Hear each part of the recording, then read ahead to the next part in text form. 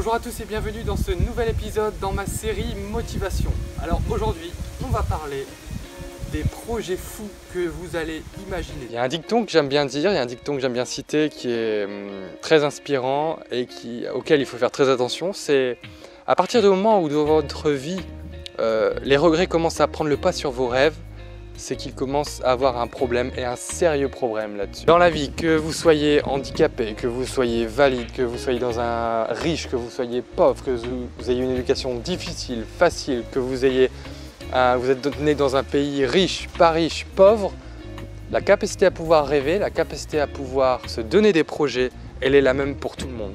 Et attention, se donner des projets, c'est quelque chose qui est un antidote pour euh, l'antimorosité justement au quotidien. Si dans votre vie vous n'avez aucun objectif, si vous n'avez pas de projet à long terme, à moyen ou à court terme, bah, quel est le but de se lever tous les matins? Quel est le but de se donner l'envie d'aller sortir de chez soi? Quel est le but de se dire bah aujourd'hui je vais voyager? Quel est le but d'aller se former? Alors il y a plusieurs aspects que j'aimerais bien vous décrire pour vous donner un projet. Il y en a cinq. Le premier, c'est d'avoir une vision c'est-à-dire ce que vous souhaiterez faire, souhaiterez devenir. Vous projetez dans les 10 ans à venir, dans les 6 mois à venir, en disant quel homme je veux devenir. par exemple, pour ma part, Axel, quel homme veux-tu être dans 10 ans? Ça, c'est une vision, la première clé. Deuxièmement, je dirais euh, l'aspect de la foi inébranlable. C'est-à-dire qu'il faut avoir la foi en vous, croire en vous, vous donner les moyens de croire en vous. Avant de vous lancer dans ce projet, Dites-vous déjà que vous êtes capable de se réaliser ce projet.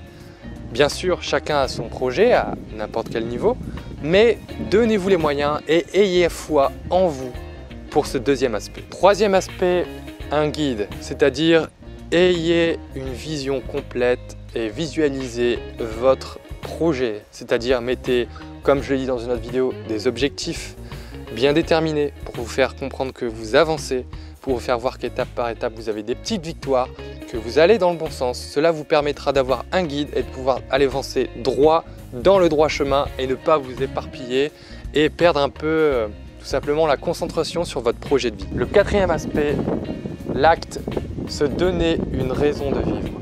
Pourquoi je fais ce projet? Pourquoi je me donne l'envie de me lever tous les matins avec ce nouvel objectif hein, dans lequel j'ai foi?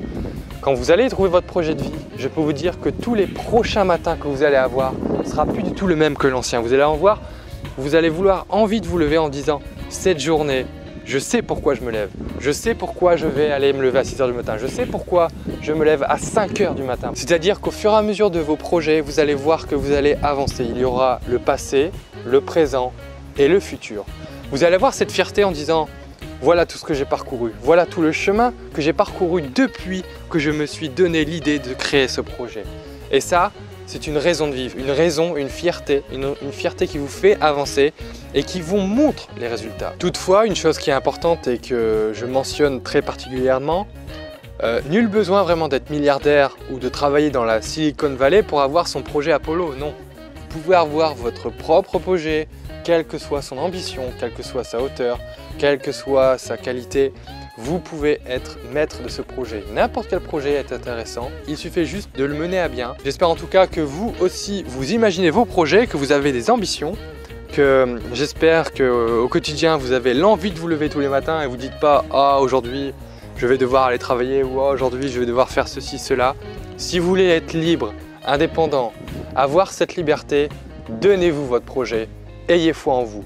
Merci d'avoir suivi cette vidéo. C'était Axel, je vous dis à bientôt dans un nouvel épisode. Ciao